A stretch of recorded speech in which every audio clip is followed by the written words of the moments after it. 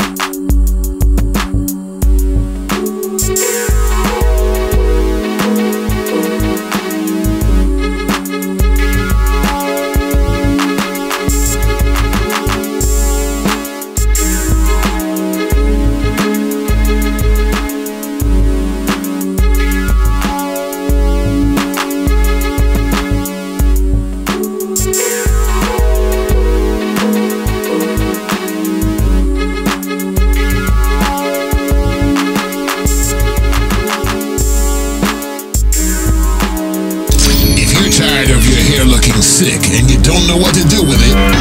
Come to Allusions Barbershop.